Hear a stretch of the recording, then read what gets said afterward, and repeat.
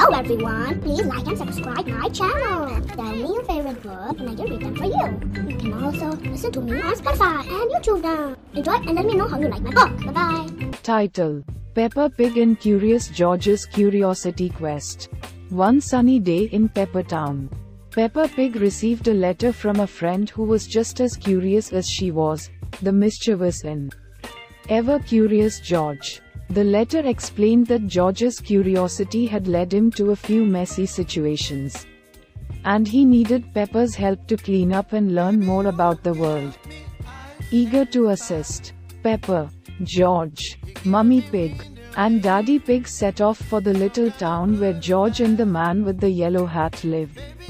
Upon arrival, they were greeted by the inquisitive little monkey, George, who wore his signature yellow shirt.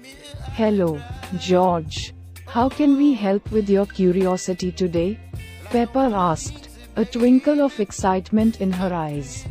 George, with a nod from the man with the yellow hat, led the group to his home, where a series of delightful but messy experiments had taken place. Paints, science experiments, and a trail of banana peels showcased the adventurous spirit of George's curiosity.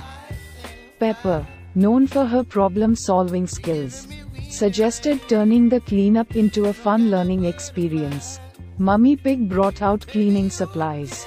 And the family and George worked together to tidy up the little monkey's home. As they cleaned, Peppa and George exchanged stories of their own curious adventures. Peppa shared tales of exploring muddy puddles, while George recounted the time he climbed the tallest tree in the jungle.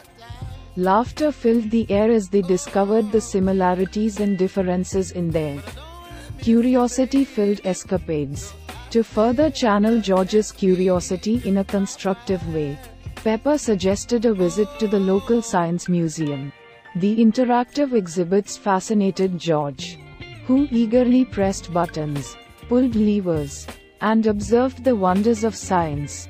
Peppa, George, and the pig family learned about dinosaurs, space, and the power of curiosity itself. The day concluded with a visit to Mr. Quint's colorful art studio, where Peppa and George tried their hand at creating masterpieces. The vibrant paintings reflected the imaginative and curious spirits of the young adventurers. As they bid farewell, George thanked Peppa and her family for helping him clean up and for sharing the joy of learning. Through curiosity, the man with the yellow hat expressed his gratitude as well, knowing that the curious monkey had found a friend in Peppa.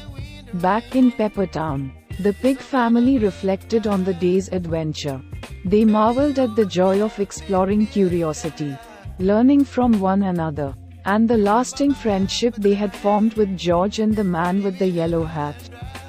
Oink, oink, and a day of curiosity, learning, and laughter with Peppa Pig and Curious George.